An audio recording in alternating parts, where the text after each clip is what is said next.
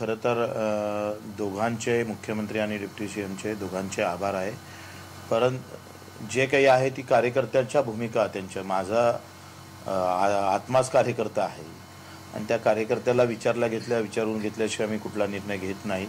आणि उद्या आज संध्याकाळी आम्ही कार्यकर्त्यासोबत बैठक घेतो आणि उद्या सगळ्या भूमिका स्पष्ट करू. काय करायचं समोर कसं? तुम्ही तुम्ही सुद्धा किंवा राणा सुद्धा सरकारमधलेच आमदार होतात आणि हा वाद पेटला किंवा वाढला. काय सिद्ध झालं या सगळ्या वादातून? वाद नको व्हायला पाहिजे होता. म्हणजे मी काही ते केलं नाही आहे मुद्दामून. जे काही आरोप केले ते राणानंच केलेले आरोप आहे.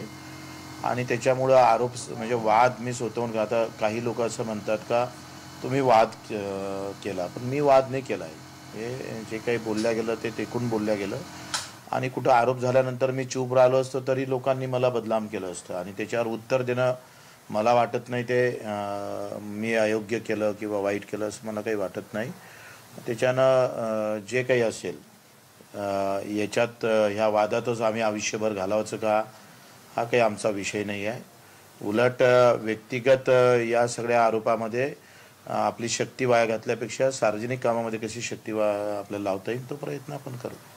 आणि त्यात सगळ्यात महत्वाची बाब अशी आहे की काही गोष्टी तुमच्या कानापर्यंत आल्या की कशा पद्धतीनं नियोजन केलं गेलं कार्यकर्त्यांशी बोलणं केलं गेलं कशा पद्धतीनं बच्चू कडू यांना बदनाम करायचं असा एक कुठेतरी डाव आखण्यात येतो अशी देखील एक माहिती समोर आली होती. नेमकं काय होतं ते काय सत्य होतं? नाही आता त्याबद्दल पूर्ण माहितीशिवाय मी बोलणार नाही. ते माहिती आल्यानंतर तुम्हाला नक्की सांगेन.